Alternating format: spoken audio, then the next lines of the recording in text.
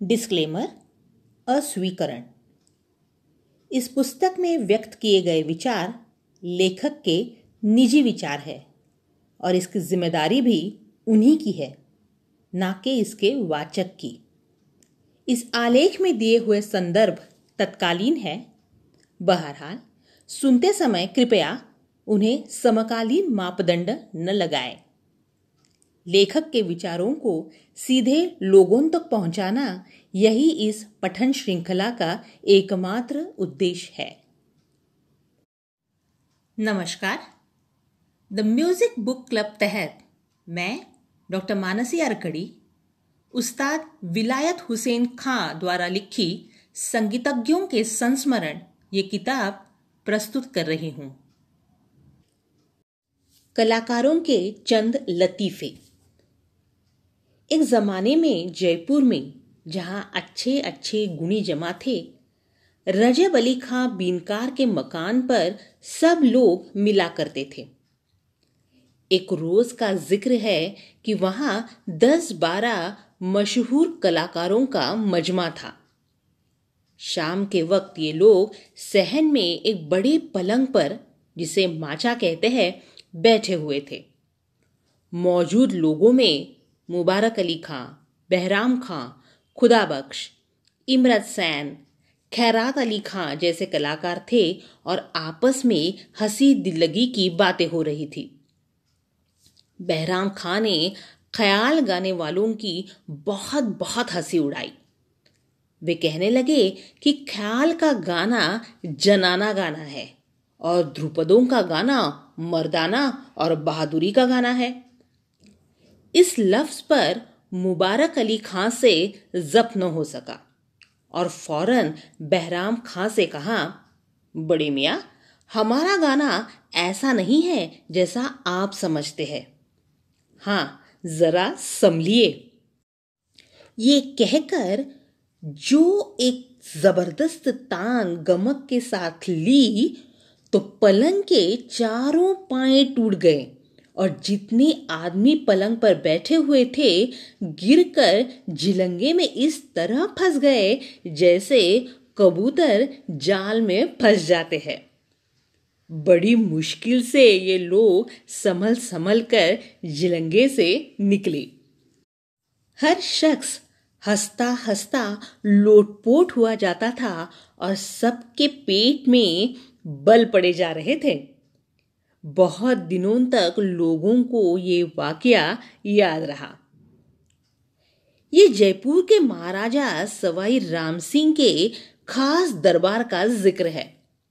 वहाँ बहुत से गाने बजाने वाले नौकर थे। महाराजा साहब को गाने बजाने के अलावा इन लोगों की बातों में भी लुत्फ आता था। इसलिए खास अवसरों पर हर शख्स को बात करने की इजाज़त थी। एक रोज का ज़िक्र है कि बहराम खां ने सोचा कि आज गवैयों को चिढ़ाकर कुछ लुत्फ उठाना चाहिए।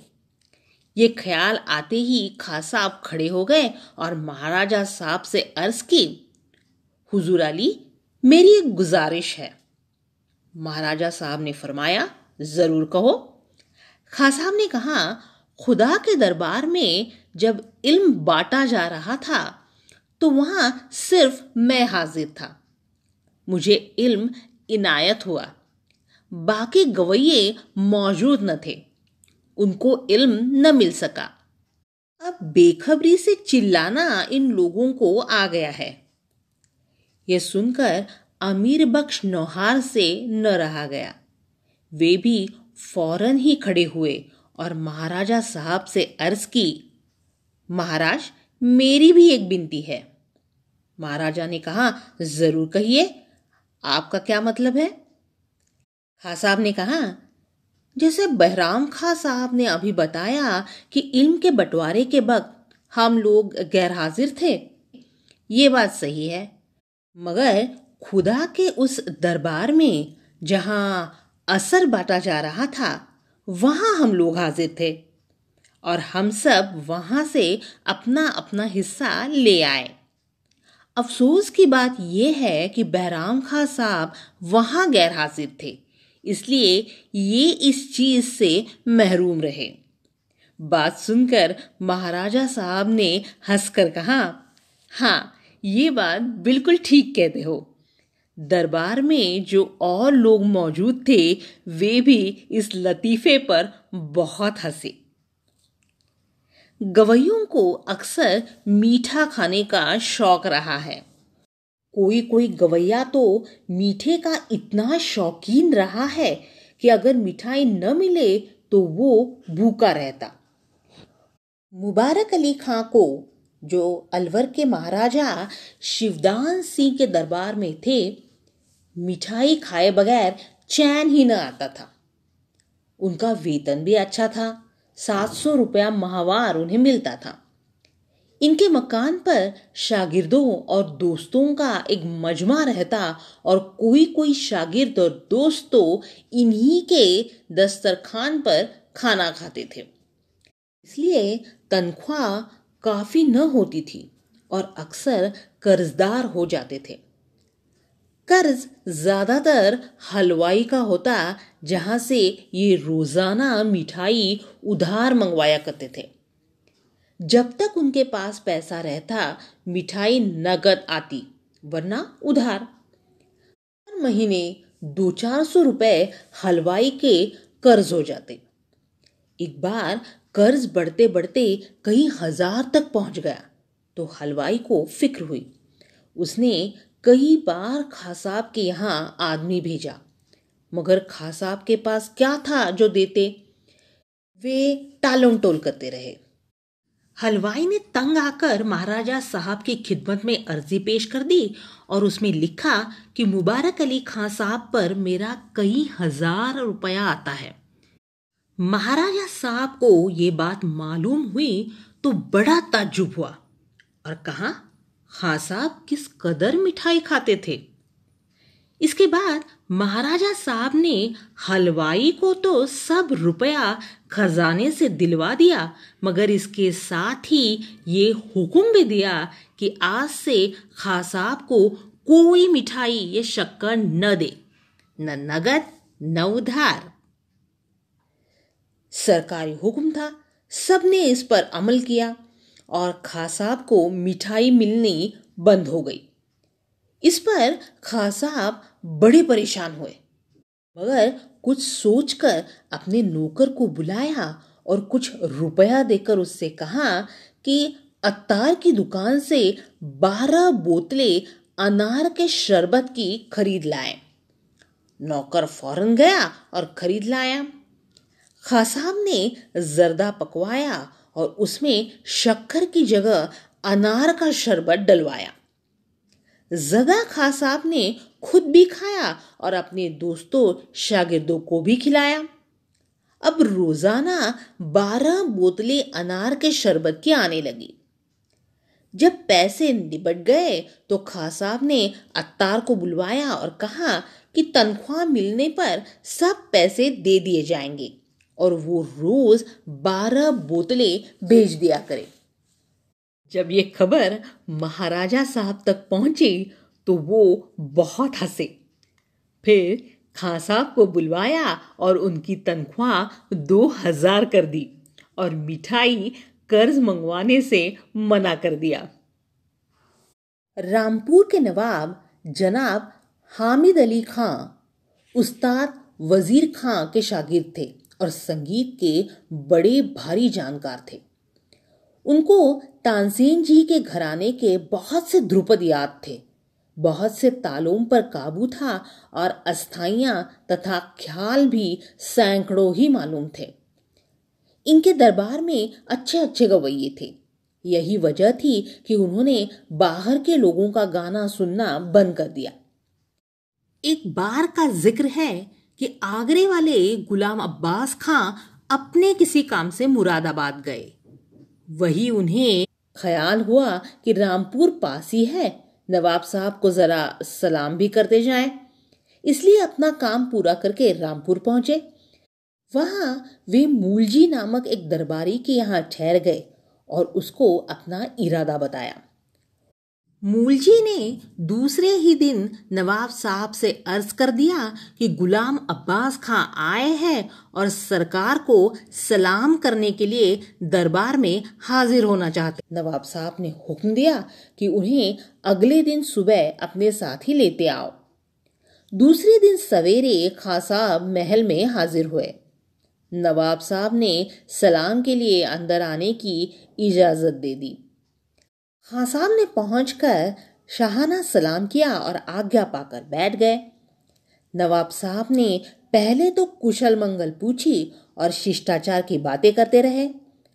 उस समय नवाब साहब के उस्ताद वज़ीर खां भी वहाँ मौजूद थे।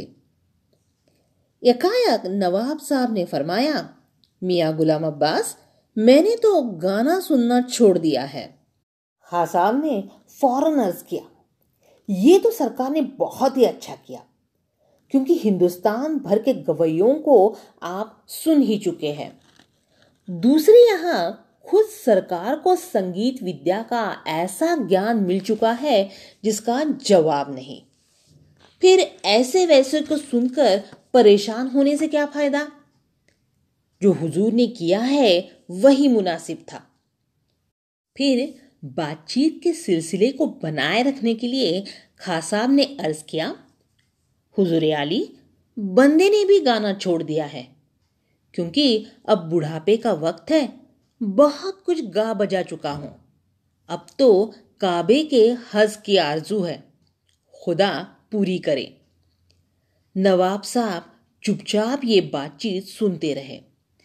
फिर कुछ देर बाद बोले, मियाँ गुलाम अब्बास मैंने हिंदुस्तान भर के गाने बजाने वाले सुने, मगर सिर्फ़ दो आदमी मुझे लयदार नज़र आए। वे दो आदमी कौन से हैं? खां साहब ने पूछा।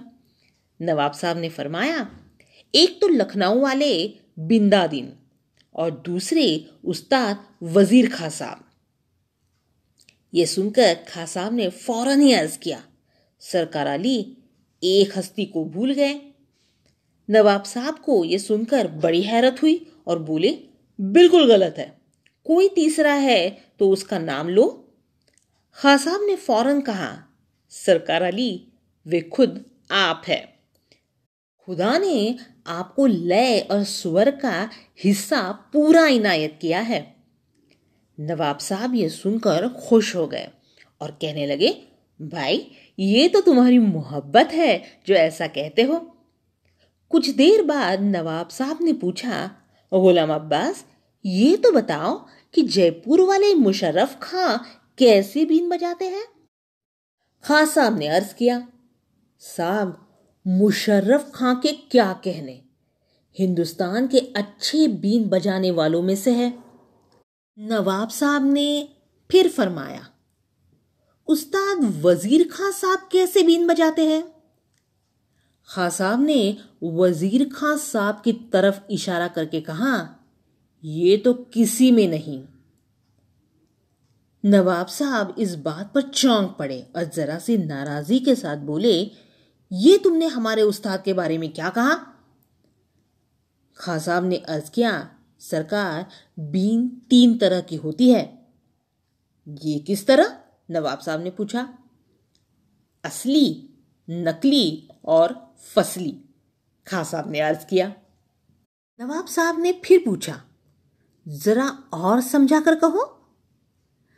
खां साहब ने अर्ज़ किया, असली वो बीन है जो चौदह पुश्त से खानदान में चली आ रही है। सच्चे कायदे, सच्चे सबक, सच्चे तरीके भी वहाँ उसी तरह चले आ रहे हैं। दूसरी नकली बीन वो है कि किसी ने उसकी नकल की और बजाने लगे। तीसरी बीन फसली है, जिसके मानी ये है कि कहीं बीनकार बन गए, कहीं सतारिए। जहाँ जैसा मौका दिखा, वहाँ वैसा ही करने लगे। अब इन बीनों पर गौर करने से ज़ाहिर होता है कि असली असली ही है और नकली नकली। खासा वज़ीर खां की बीन असली है। हिंदुस्तान के बीनकार इन्हीं से सीखें और इन्हीं की नकल करते हैं। खासाब किसी में नहीं है, बाकी सब इन्हीं में से है। गुलाम अब्बास साहब इतना ही कहने पाए थे कि नवाब साहब खुशी के मारे उछल पड़े और उनकी योग्यता की तारीफ़ की। वे इनसे इतने खुश हुए कि एक हज़ार रुपये का इनाम भी दिया। पुराने बुज़ुर्ग आपस में बड़े मेलजोल से रहते और बड़ी मोहब्बत से एक दूसरे से मिला करते थे। इनमें आपस में कभी कभी हँसी दिलगी भी होती थी, मगर कभी दिलों में रंजिश नहीं पैदा होती थी। एक बार दहली वाले तानरस खां ग्वालियर आए हुए थे और सराय में ठहरे थे। उन दिनों ग्वालियर में उस्ताद हद्दू खां, हस्सू खां और नथू खां वगैरह का दौर दौरा था। एक रोज तानरस खां से मिलने के लिए ये लोग सब सराय में आए और दूसरे रोज तानरस खां भी उनके मकान पर गए। संयोगवश उस समय नथू खां मकान पर मौजूद न थे, मगर हद्दू खां ने उनकी बड़ी खातिर की और बड़ा स्वागत किया। वहाँ एक खूंटी पर एक लंबी पगड़ी बंधी हुई थी, जिसको उस जमाने में चीरा कहते थे। आंद्रस खां ने उसे देखा तो वो उन्हें बहुत पसंद आई और खूंटी से उतार कर उसे पहन लिया। ये देखकर हद्दू खां ने कहा, अगर आपको पसंद है तो उसे अपने पास ही रखिए। इस पर तांद्रस खां पगड़ी को अपने साथ ले गए। पर फ़ौरन ही शहर में ये बात मशहूर हो गई कि तानरस खां नथु खां की पगड़ी ले गए। नथु खां ने ये बात सुनी तो फ़ौरन घर आए और दरियाफ्त करने पर उन्हें मालूम हुआ कि सचमुच तानरस खां, पगड़ी ले गए हैं। नथु खां ये सुनते ही हाथ में भाला ले घोड़े पर सवार होकर सराय की तरफ़ चल दिए। सराय में पहुंचकर देखा कि तानरस खां पलंग पर लेटे हुए है। नतू खां ने करीब पहुंचकर भाला उनकी छाती पर रख दिया और कहने लगे, लाओ, पगड़ी कहाँ है? हाजिर करो। तानरस खां ने कहा, भाई साहब, आइए, बैठिए, मैं अभी आपको पगड़ी देता हूँ। मगर ये नहीं माने। कहने लगे, बातचीत पीछे होगी, पहले पगड़ी लाओ। तानरस खान ने जल्दी से पगड़ी पेश कर दी। उसके बाद दोनों साहब मिलकर बैठे और बहुत देर तक बातें करते रहे। ये बात भी दोस्ताना तरीके से खत्म हो गई। बल्कि पगड़ी का ज़िक्र भी कभी बीच में नहीं आया, क्योंकि दोनों के दिल साफ़ थे। जयपुर नरेश, स्वर्गवासी महाराजा राम सिंह को संगीत विद्या की बहुत अच्छी समझ थी। वे खुद बीन बजाते थे और हिंदुस्तान के बड़े बड़े नामी गवैये उनके दरबार में थे। उनके अलावा बाहर से कोई गुणी आ जाता तो उसे ज़रूर सुनते। एक बार का ज़िक्र है कि पंजाब के खां साहब गाने वाले जयपुर आए।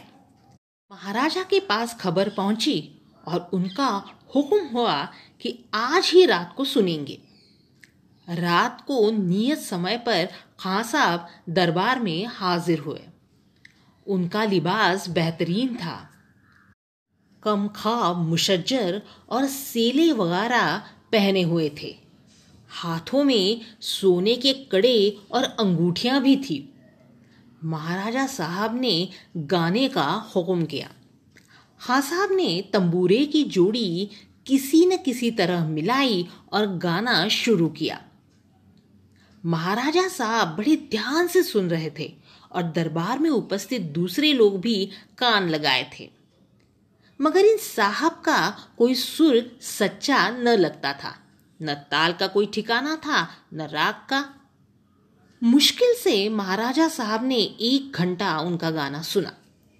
गाना बंद होने पर महाराजा साहब ने खजांची को हुक्म किया कि पाँच सौ रुपए और पाँच टके कच्चे खां साहब को दे दिए जाए। और ये कह दिया जाए कि पाँच सौ रुपये तो तुम्हारे कपड़ों और ठाठ के लिए है और पाँच टके तुम्हारे गाने के। खां साहब ने पाँच सौ रुपये तो वापस कर दिए और पाँच टके लेकर रख लिए। सरकारी आदमी से उन्होंने कहा, मैंने अपने गाने का इनाम ले लिया। कपड़ों के इनाम के लिए मैं नहीं आया था। इसलिए इन पाँच सौ रुपयों को वापस करता हूँ। उसके बाद खां साहब अपने वतन पंजाब को लौट गए, मगर इस घटना के बाद से उन्हें नींद नहीं आती थी। इनके स्वाभिमान का तकाजा था कि दिन रात गाने की मेहनत करे और जिस दरबार से पाँच टके पाए थे, वही से इज़्ज़त हासिल करे। फिर क्या था? रात दिन गाने पर मेहनत शुरू कर दी। सब ऐशो आराम छोड़ दिया। तीन साल की कोशिश से इनके गले में सच्चे स्वर बैठ गए और गाने में मज़ा पैदा हो गया। गले में असर आ गया। तीन साल बाद ये फिर जयपुर पहुँचे। महाराजा साहब के पास खबर हुई। उन्होंने इनको बुलाया और देखते ही पहचान गए। मगर इस बार तो इनका पहले जैसा ठांड बांट न था। गाना शुरू करने की आज्ञा मिलते ही तंबूरे की जोड़ी मिलाई तो वो भी बड़ी सुरीली मिली और गाना शुरू होते ही रंग आने लगा। महाराजा साहब बेहद खुश हुए। उनकी हर उपज पर महाराजा साहब प्रसन्न होते और दिल से वाह वाह निकलती। उस दिन महाराज ने अपने नियम से विपरीत दो घंटे तक इनका गाना सुना और सुनने के बाद बोले, मिया, गैरत हो तो तुम्हारे जैसी हो। क्या कहने हैं तुम्हारी गैरत और मेहनत के? तुमने हमको बहुत खुश किया है। इसके साथ ही महाराज ने इनको बहुत कुछ इनाम वगैरह भी दिया। खास साहब ने अर्ज़ किया हुजूर, ये गैरत आप ही ने दिखाई थी कि मैं इस दर्जे तक पहुँच सका। दूसरी बात यह है कि मुझे सरकार ही ने पहचाना। दरबार के दूसरे लोग मुझे अब तक नहीं पहचान पाए। ये ज़िक्र सन 1860 का है। रियासत भरतपुर के महाराजा साहब को संगीत विद्या का बड़ा शौक था। उनके दरबार में कई नामी गाने बजाने वाले वेतन पाते थे। महाराजा साहब मदार बख्श के गाने से बहुत खुश थे। एक बार सालगिरह के उत्सव के समय इनके गाने पर बहुत प्रसन्न होकर महाराज ने उन्हें बड़ा इनाम देना चाहा और पूछा हाँ साहब, आपकी जो इच्छा हो वो बताइए, वो मैं आपको दूँ। संयोगवश उस समय महाराज के हाथ पर बाज या ऐसी ही किस्म का कोई पक्षी बैठा हुआ था। महाराजा साहब उससे दिल बहलाया करते थे। खां साहब ने रियासती जबान में महाराज से कहा, या चिड़ैया को मेरे हाथ पर बिठाए दो। महाराज ने तुरंत उस पक्षी को खां साहब के हाथ पर बिठा दिया। और जो डोरी पक्षी की कमर में बंधी होती है, वो खोलकर खां साहब के हाथ में बाँध दी। खां साहब पक्षी को लिए खुशी खुशी अपने घर आए तो उनके घर वाले और दोस्त सभी अफसोस करने लगे और उनसे बोले, आपने भी क्या मांगा? कोई काम की चीज़ ही मांगते? खां साहब ने कहा, तुम उसकी कद्र क्या जानो? ये चिड़ैया या तो महाराज के हाथ पर थी या आज मेरे हाथ पर है। एक बार घग्गे खुदाबख्श खां रियासत जयपुर से छुट्टी लेकर अपने वतन आगरे में आए हुए थे। खां साहब तबीयत के बड़े भोले और सीधे सच्चे आदमी थे। एक दिन का ज़िक्र है कि एक नया आया हुआ पंजाबी गवैया खां साहब के मकान पर मिलने पहुँचा और अपना बड़ा शौक ज़ाहिर किया। कहने लगा, मेरी जैत राग सुनने की बड़ी इच्छा है। आपकी तारीफ़ सारे हिंदुस्तान में है। मुझे उम्मीद है कि आप जैत राग मुझे ज़रूर सुनाएँगे। हाँ साहब बोले, भाई, जैत वैत तो मैं जानता नहीं हूँ। हाँ तुम चाहो तो गाना सुन सकते हो। वो बोला, मैं गाना तो सुनना नहीं चाहता।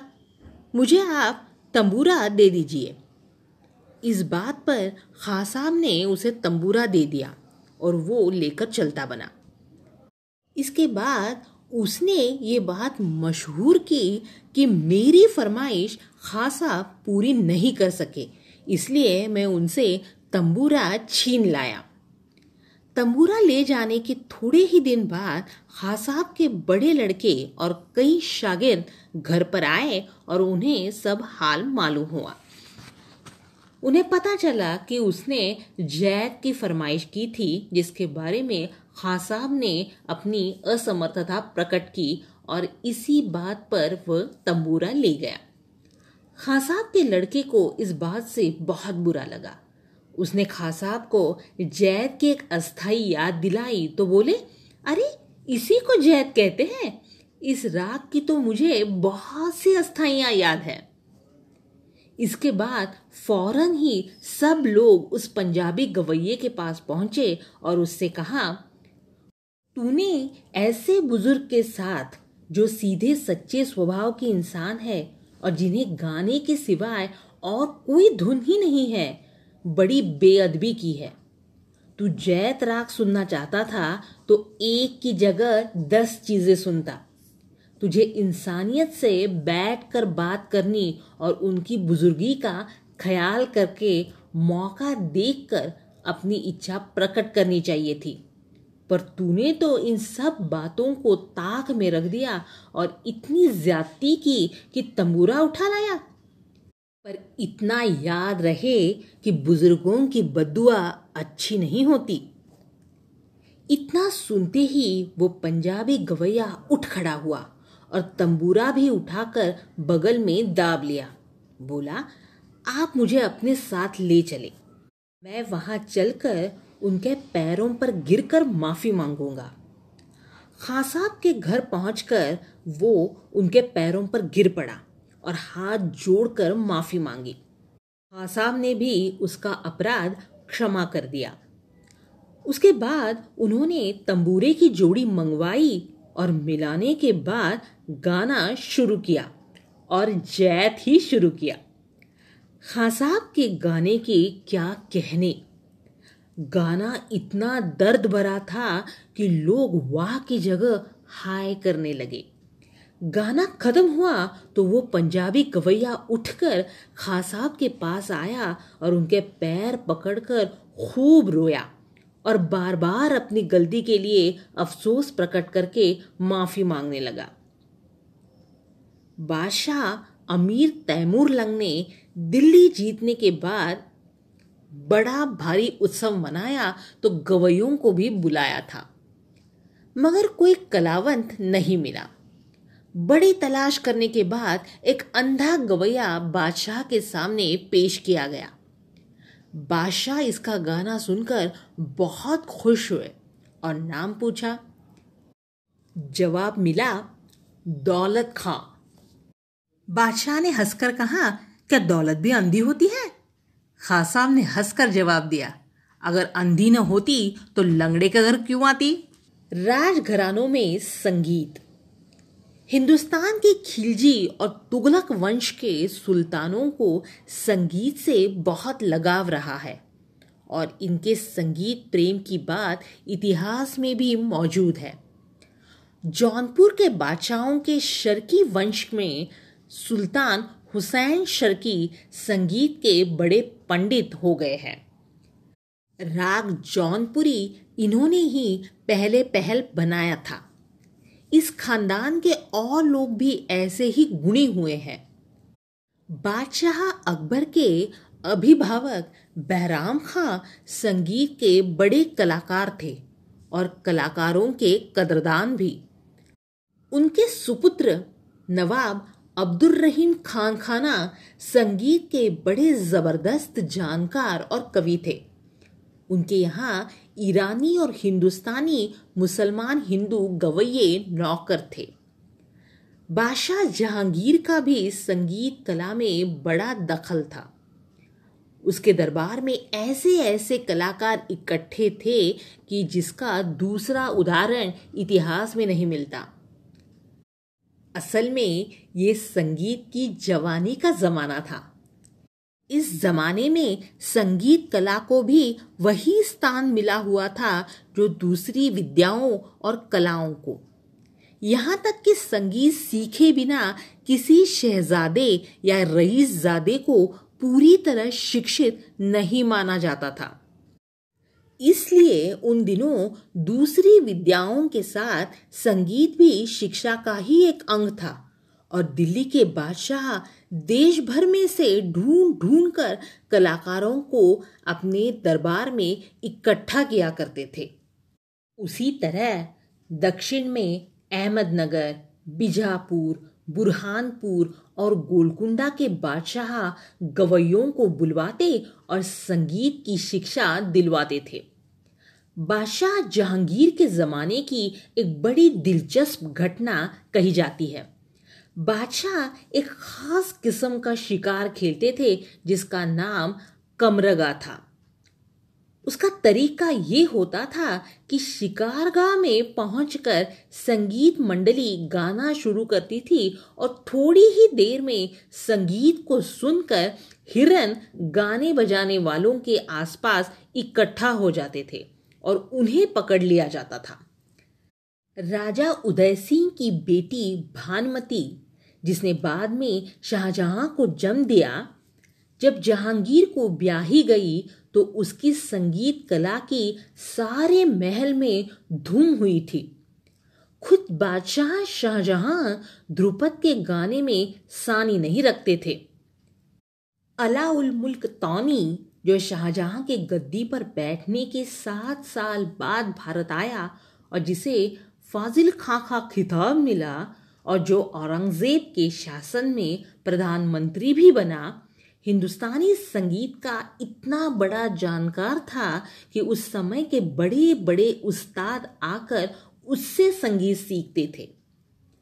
खाने जमा मीर खलील, जो अमीनुद्दौला के दामाद थे संगीत के इतने बड़े माहिर थे कि उस जमाने में संगीतज्ञों के राग रागिनियों को लेकर होने वाले आपस के झगड़ों को मिनटों में निपटा दिया करते थे।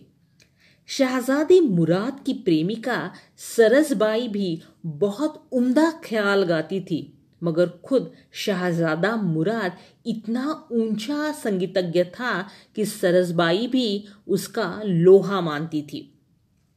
निजामुल मुल्क के सुपुत्र आसिफ जहाँ शहीद संगीत के इतने प्रेमी थे कि उसे ठीक ठीक समझने के लिए उन्होंने संस्कृत का अभ्यास किया और संगीत में बहुत जानकारी हासिल की। हज़रत शेख सलीम चिश्ती के पोते नवाब इस्लाम खां संगीत के इतने प्रेमी और जानकार थे कि अस्सी हज़ार रुपये माहवार संगीत पर खर्च करते थे। बादशाह औरंगज़ेब को भी, जबकि वो सिर्फ़ शहजादा था, संगीत की शिक्षा दी गई थी, मगर इसका ध्यान राजनीति की तरफ़ अधिक था। इसलिए उसने अपने दरबार से संगीत को हटा दिया था। मगर उस समय के लगभग सब राजा, महाराजा, अमीर, जमींदार, नवाब संगीत के भक्त और प्रेमी थे। यही कारण है कि संगीत बादशाही दरबार से निकलकर इनके दरबार में फला फूला। ये बात संगीत के लिए अच्छी ही साबित हुई क्योंकि इस प्रकार संगीत जनता के अधिक समीप पहुँचा। मालवे के सुल्तान बाज बहादुर संगीत के बड़े ज्ञानी थे और नायक भी थे। उनकी रानी रूपमती भी संगीत, कला और कविता में इनके साथ साथ थी। इनकी बनाई हुई चीज़ें आज भी गाई जाती है। ग्वालियर के राजा मानसिंह संगीत के बड़े जानकार और कदरदान थे। वे खुद भी ध्रुपद बहुत अच्छा गाते थे और रचना भी करते थे। 19वीं सदी में जयपुर के महाराजा सवाई जय सिंह संगीत के बहुत बड़े जानकार हुए और उन्होंने रज्जब अली खां से बीनकारी सीखी।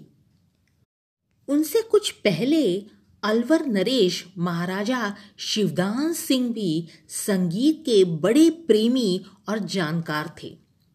रामपुर के नवाब कलबी अली खां, कासिम अली खां और हामिद अली खां संगीत के बड़े अच्छे जानकार और सच्चे प्रेमी हुए हैं और मौजूदा नवाब भी संगीत के बड़े विद्वान हैं तथा इनके यहाँ अब भी हिंदुस्तान के कई मशहूर कलाकार मौजूद हैं। 19वीं शताब्दी में टोंक के नवाब इब्राहिम खां संगीत के जानकार और आश्रयदाता थे। उन्हीं दिनों नवाब हैदर अली खां बहुत अच्छा गाते थे और किलसी नरेश, नवाब जानी साहब भी खुद सुरसिंगार बहुत अच्छा बजाते थे। मैसूर के महाराजा साहब श्री कृष्णराज वारियर संगीत विद्या के बहुत बड़े जानकार थे। उन्होंने शेषन्ना और सुबन्ना से रुद्रबीन सीखी थी। पंचगछिया नरेश, महाराजा लक्ष्मी नारायण सिंह, हारमोनियम और पखवाज बहुत अच्छे बजाते थे और संगीत के बड़े पारखी थे। बनैली के महाराज कुमार श्यामानंद सिन्हा, विश्वदेव चटर्जी से ख्याल आस्ताई सीखे और बहुत सुरीला गाते थे। उन्हें संगीतज्ञों से बहुत प्रेम है। और भारत के सभी संगीतज्ञों को इन्होंने अपने यहाँ सुना है तथा उनका आदर सत्कार किया है। सारे बिहार राज्य में संगीत के मामले में इनसे ज़्यादा समझदार और कदरदान दूसरा रईस नहीं। इन लोगों के अलावा बहुत सी रियासतों के राजा और रईस संगीत के बड़े जानकार और प्रेमी हुए हैं। उनमें से कुछ स्थानों के नाम ये हैं। लूनावाड़ा, मूरसान, ग्वालियर, बड़ौदा, आवागढ़, हैदराबाद, दुजाना किशनगढ़ बूंदी, उनियारा, जोधपुर, जूनागढ़, भावनगर, पटियाला, राजकोट, नाभा, कश्मीर, मिरज, इचलकरंजी, कोल्हापुर, गढ़वाल मुघौल, जमखंडी, भोर, इंदौर, देवास, धार, भोपाल, दरभंगा, मुर्शिदाबाद, सुल्तानगंज, महिषादल, पालमपुर, राघनपुर, धर्मपुर, बांसदा इत्यादि।